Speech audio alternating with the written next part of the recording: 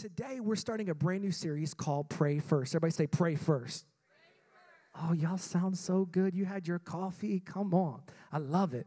Uh, Pray First is our brand new series, and we're starting it today. And today, I, I want to focus on this second word, first. I want to talk about first things first. Now, the next few weeks, you'll hear uh, uh, about prayer and you'll hear uh, us teach about prayer, but I want to talk about getting priorities uh, in line and priorities straight. You know, we're the second Sunday of the month and of the year. And so I, I just want to talk about how we can put our priorities in straight. And you know, uh, you have values, your values should match your priorities, right? Your values should match your priorities. But have you ever, if you were all honest in this room, have there been times that there are things that are your values, but then you look at your priorities and they don't align? And it's like, oh, it's time to readjust. Like, I have been on my phone way too long, or I've been spending too much time on things that I truly don't value. And, and I think how important it is for us to put first things first. In fact, when your life is out of whack, when things feel like th- things are just off, usually it goes back down to priorities. Having the right priorities in our life. In Genesis chapter 1, verse 1, it says, The first four words of the Bible are in the beginning, God. Y'all just say that. In the beginning, God, right? That's how it should be. In the beginning of your relationship, God should be there. In the beginning of your day, God should be there. In the beginning of making a decision that's important for the rest of your life, God should be there.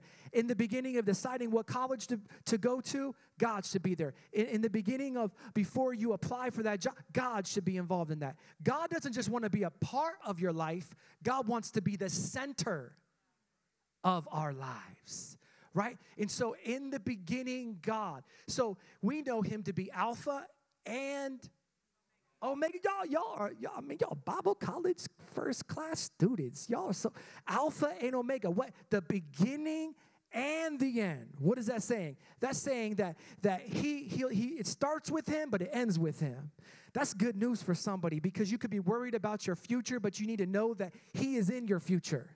He's in the end. This season, this too shall pass in your life. God's in the future. God wants to be in the beginning. And God wants to be in the beginning of your life, and He wants to be the priority of your life, and He wants to be the first of your life so that there can be a partnership. You and you and I have a partnership with God. God doesn't just want to be your savior, He wants to be your partner.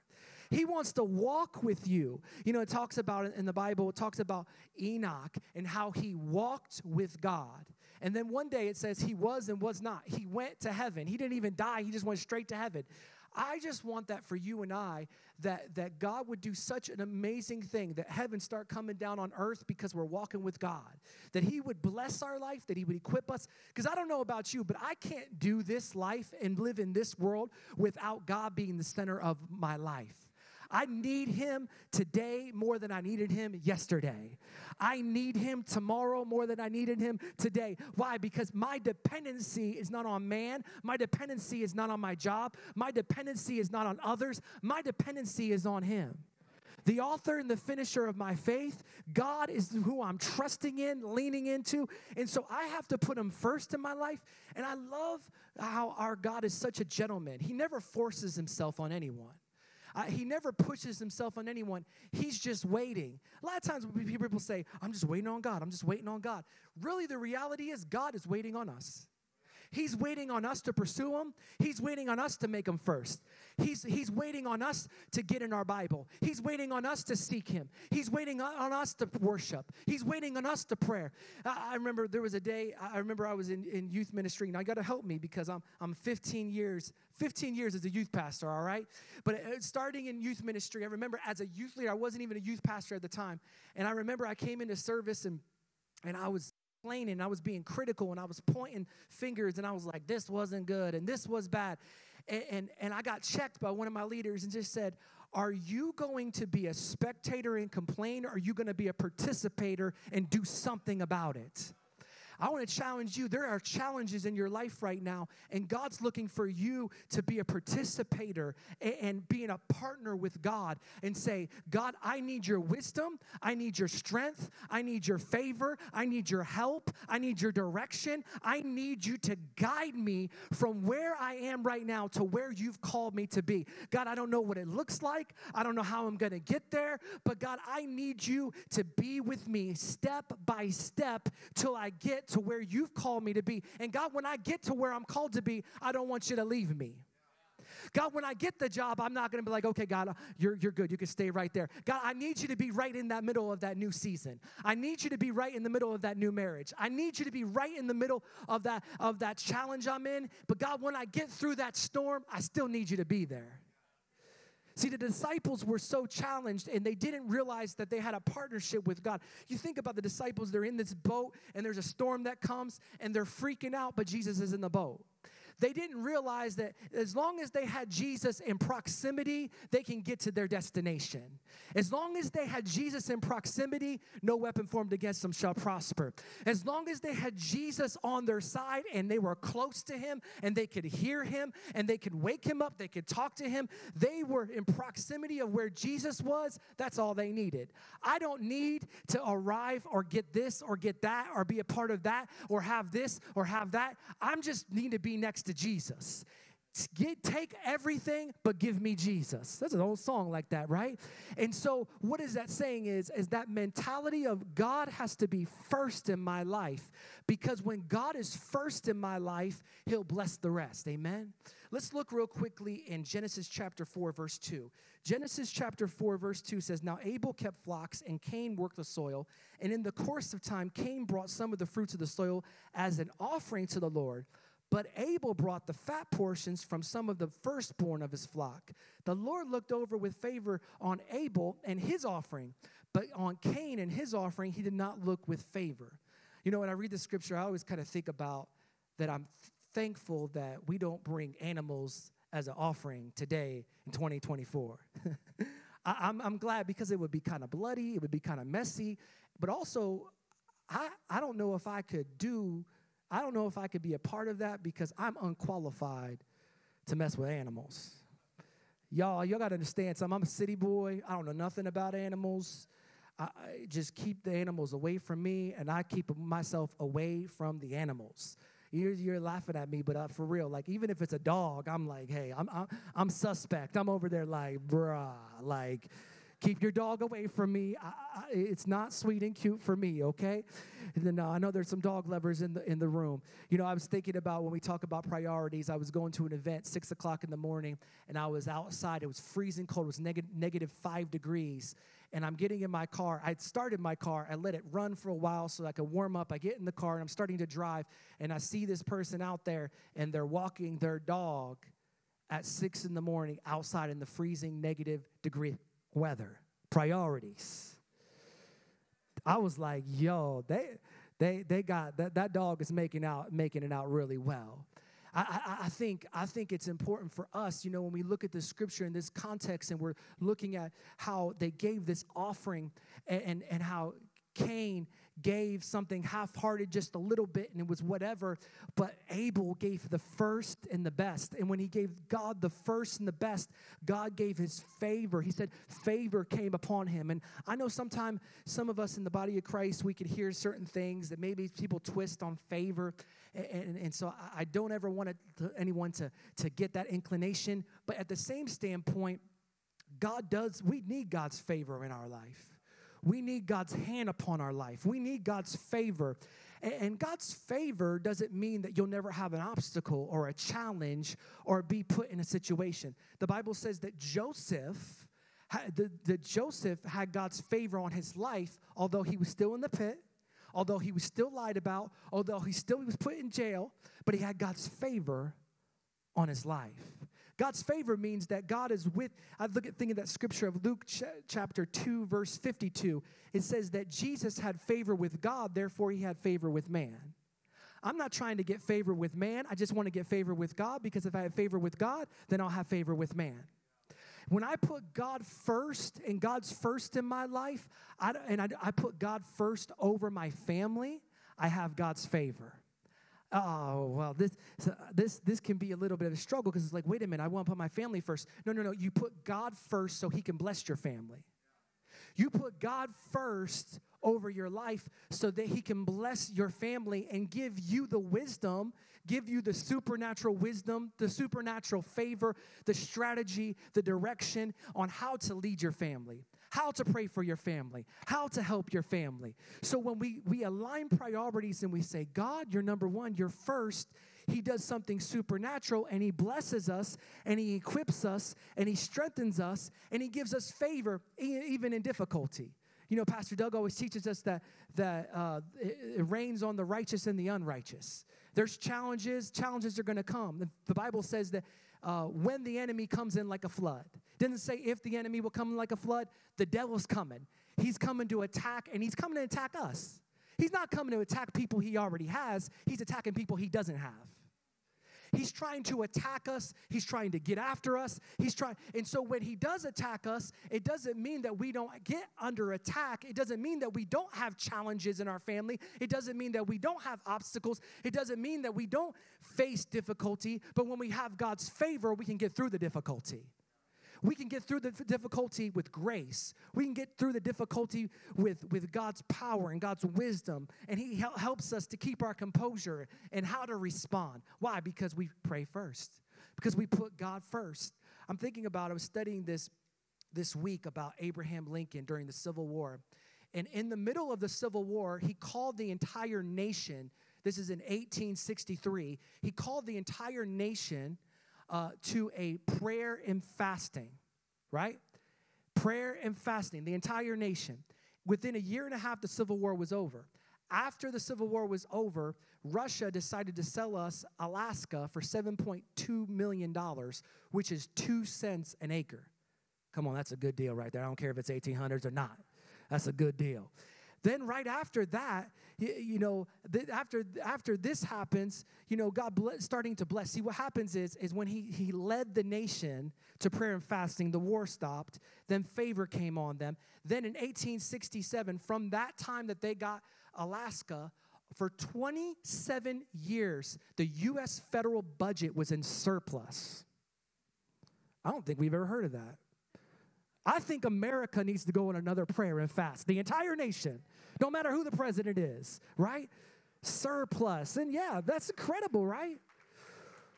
What's the principle? The, see, when we look and read the Word of God, we, and, and when we see different things, we, we should see look for biblical principles. Biblical principle is this: is when we put God's first, when we put God first, and we and we give Him our best, He blesses our life. He increases our life. He helps us. You know, another thing that happened in 1867 is Youngstown was chartered as, as a city. It started there. What I'm saying is, is prayer and fasting actually accelerates and does something supernatural because we're putting away and putting putting things away that are not a top priority and putting God as the number one priority and saying, God, I'm not going to eat this. I'm not going to watch this. I'm not going to I'm going to give this up so that I can have more in my life. Not so that I can lose weight. This ain't Weight Watchers. This ain't Jenny Craig. Come on, y'all. This is this is I'm gonna have God do some. I might lose some weight because of what I'm how, what I'm not eating, but I'm expecting to gain something spiritually. I'm expecting to hear God's voice clearer. I'm expecting to be in greater proximity to God and be closer to God. The closer I am to God, the greater I could hear His voice. Right? So I want to get closer to God. Everybody say closer. So when I put him first, I'm getting closer because I'm making him a priority and I'm gaining the favor of God upon my life. So, number one, God must be first in our life. And if God's gonna be first, if we're just be honest with ourselves, all of us in this room, including myself, is it's gonna cause discipline for God to be first. It's gonna cause us to be disciplined. There's a scripture in the Bible, it talks about this in Proverbs chapter 10, 17. It says, The road to life the road to a life, God's life for our life, is a disciplined life. The road to a life that God has for our life is a disciplined life, right? So, my disciplined life by putting God first and saying, God's, God's above all the other things. God's first in my life. I'm putting God first before I put my family first, before I put my finances first, before I put my cat or my dog, my hamster first, before I put TV first, before I put video, before I put anything social media, I, I put him first. Before I scroll, be, before I get out of my bed, he's first. So when we start to put him first and give God our best, then he's able to bless the rest in our life. He's able to bless our life. He's able to take us further than we could take ourselves. That's what we need.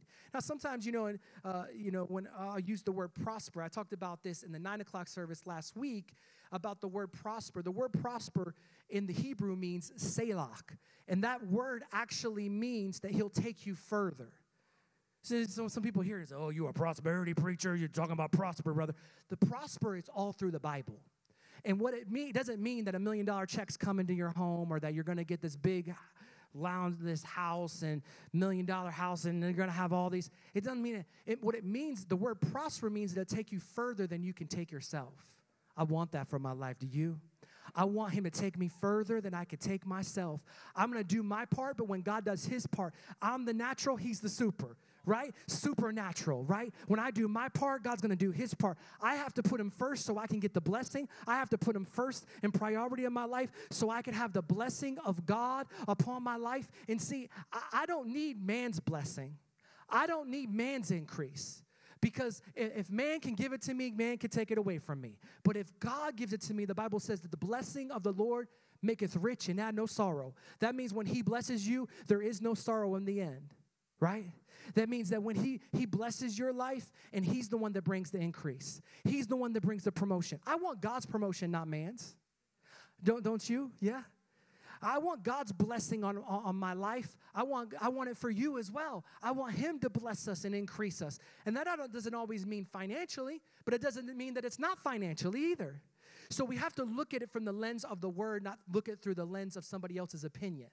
We have to see what God's word says and that he wants to prosper us and he did prosper Abel and blessed his offering. Why? Because he put gave him the first and the best. But it also comes down to us being disciplined. C.S. Lewis, I love C.S. Lewis. He wrote this and I love this. It says, "No question God wants to, us to have his best for us. The question is how painful will it be?" Wow, because no pain, no pain? No pain?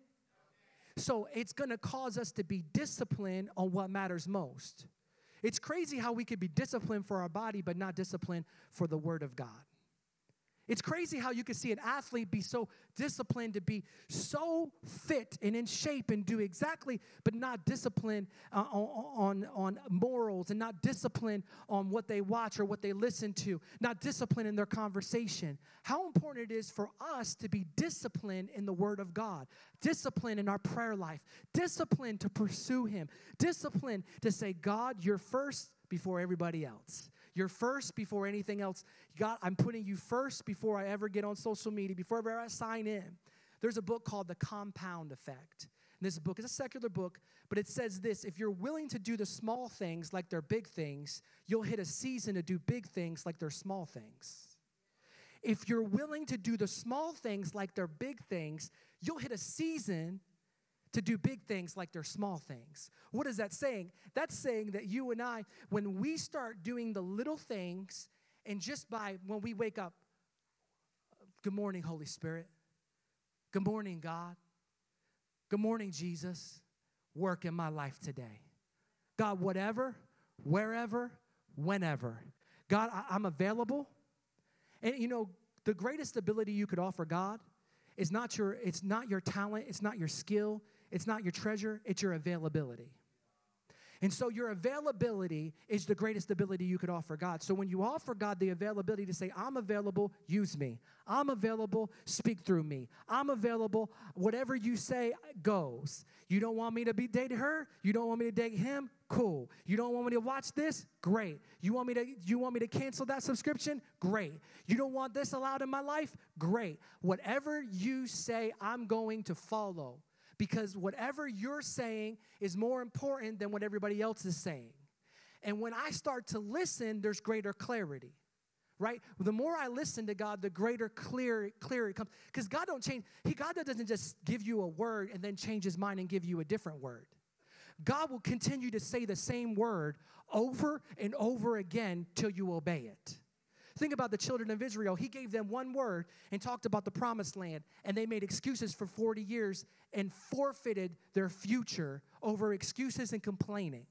So the reality for you and I is, is that when we put him first and make him best in our life, we trust him with every area of our life and we say, God, you're first and I want you to bless and I need your favor and I'm going to trust you with it. And, and if I trust you with it, I know that wherever I go, I'm following you and not my ways. It's not my ambition, but it's your plan, your purpose for my life. And as I'm pressing in and as I'm reading my Bible and as I'm going after you, I'm going to trust you with everything you have for my life. So God must be first. But then, number two, we put God first by giving him the first of everything. Real quick, as, uh, as I'm going to close here and wrap this up in just a few moments.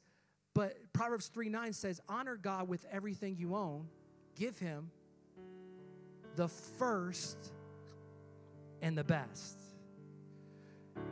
My wife, Nikki, uh, she grew up in Youngstown area, grew up in Boardman.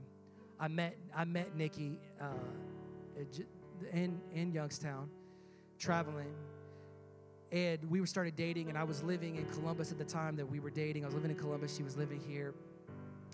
And if anyone knows me, you go into the office. I'm a huge Nets fan. Y'all pray for me. I feel you're paying Browns fans. I'm just the the struggle is real. Let's just leave it at that. All right. And uh, I told my, my wife before we were married, I said, hey, I, I got two, two agendas. This sounds so immature and superficial. I said, two things. One is I'm going to meet Jason Kidd, who plays on the Nets, and I'm going to marry you. And my wife looked at me. She's Italian and Greek, and she just looked at me, gave me a little bit of an attitude look, side eye, and said, Well, it better not be in that order, because I better be the priority. And I, in the words of the famous theologian Bruno Mars, I said, Don't believe me, just watch. And uh, just at that, that moment, uh, just, a, I mean, I said, I promise you, a few weeks later, God opened the door. I met Jason Kidd. And then, uh, and I think I've got it somewhere. Do we have, we might have it. I don't know. We had, a, we had a picture of it somewhere. Ah, yes. He can't even look in the camera. I'm like, rah. Ray Allen trying to get up out, two Hall of Famers right there, get in the midst of it. And so about six months later, you know, I had to be, I had to be a, you know, I had to let build the anticipation because my wife's like, "Is this the day? Is this the day he made Jason Kidd? Is this the day?" About six months later, I proposed and, and we got married.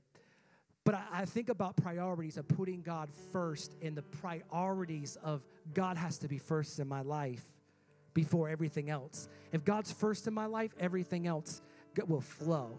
God, God's not saying disregard your family. God's not saying, you know, sell all your house and you live in your car. And, and he's, not, he's not asking for you to, to, to destroy your life in the process of putting him first, but he is saying, put him first so he can bless the rest of our life. Harvard did a study. In the study, that you know that one out of two marriages in America end up in divorce.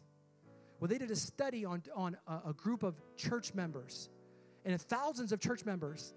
And in this study, they said that the church members that regularly attend, like y'all, the, that, that prayed and read their Bible, like y'all, they said that those people, the divorce rate decreased to one out of 1,246. Isn't that incredible? Well, yeah, the word works when we apply the word, when we're doers of the word, it works and it does in our life. And as we're wrapping up, I just want to share this before I pray with you. I want to share this one thought about David. David, you you you know, in his he's got so much story throughout throughout the Bible that you we could talk about a lot of things about David. David as a king in, in 2 Samuel, just for reference, for 2 Samuel chapter 7, it talks about how David was in his beautiful, luxurious home. And one day he started thinking, you know what? Even though God's blessed me, he hasn't been first in my life. He realized that he had not put him first. He realized that the Ark of the, Co- the Covenant, the Ark of the Covenant was, was outside in a tent somewhere and he never built God's house. And so the prophet Nathan came to him and they're having an exchange. God's speaking through the prophet Nathan, and he just says, God, I'm going to commit to build your house. And so then God said, You'll do that for me? God said, I did all these things for you, but I'm going to do more. See, there's more when we put, God first. He said, I'm going to do more. I'm going to make your name great for generations and generations to come that your children's children's children will speak of your name, which we know that's the truth. And beyond that, not only with you building my house, I'm to build your house. Oh, I thought about that for a second. I, I, I don't want to build my house. I want God to build my family. I want God to build my life. I want His blessing. I want His favor. I want His strength. I need His wisdom. I need His power. I need His presence. I need His, I need what He can do in my life. If He builds my life, and I just want to say thank you, church family, because by by doing this heart for the house and say, hey, I'm gonna build God's house, you know what you're doing? You're setting yourself up for Him to build your house. You're saying, God, you're first. And God says, Oh, okay, I'm first. Well, I have more for you. I have more of blessing. I have wisdom. I have strength. And I don't know what that is for you, but I do know that we serve a God of more that wants to take you further than you've ever been. Can we pray? Father, I thank you, God, for this amazing group today. God, those that are watching us online. And God, I just thank you, Lord, those here in the room. God, I thank you, God, that we're making you first. We're going to give you the first and the best, God, and trust you with the rest, God. God, we just invite you, Holy Spirit, speak to our hearts what to give up, what to do with what we have. And God, we'll give you our life and we'll give you the first, we'll give you the best. God, this year, God, your priority, number one before our family, before our finances, before our hobbies, before everything else, God, we put you first and know you'll bless the rest of our life. In Jesus' name, amen and amen and amen.